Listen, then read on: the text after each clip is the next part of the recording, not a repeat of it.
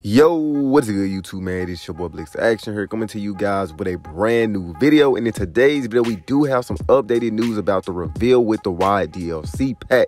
If you haven't already, man, make sure you boys go ahead and hit that like button, subscribe to the channel as well, and let's get straight into the video. So first thing first, we all know that the reveal with the Wyatt pack is set to be released on July 19th. And all of the superstars that will be included in the pack will be Bray Wyatt, Zeus, Valhalla, Joe Gacy, and Blair Davenport. Now, if I mispronounce any of these superstar names, please forgive me for that. But anyways, we are going to be looking at this screenshot right here, as you guys can see, of Bray Wyatt. He have been officially revealed by WWE 2K themselves. Then we're gonna break down this Bray Wyatt screenshot. So as you guys can see right here, if you look closely in the background, you do see that Bray Wyatt entrance will come with that mysterious door that he always come out of. So as you guys can see right here as well, the door with the grass over it was also added into the WWE 2K23 files on the latest DLC pack that we have gotten. But that's not all because if you do look behind Bray Wyatt head, you can see that there is a person standing behind him, and that person happens to be Uncle Howdy. So as you guys can see right here as well, this placeholder roster portrait type B of Uncle Howdy was added into the files as well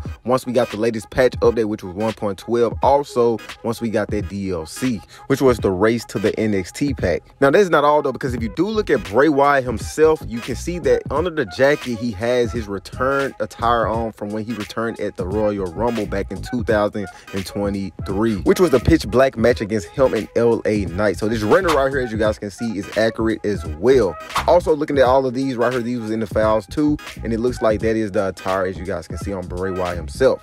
Now, if you did like this video, make sure you go ahead and hit that like button and subscribe to the channel because I will keep you guys posted when it comes to a lot of WWE 2K23 content as well as AEW Fight Forever. And don't forget that July 19th, the reveal with Pack will be released. So you want to keep your eyes out for that. But anyways, like I said, it's been your boy Blitz Action. Signing off, y'all. Peace.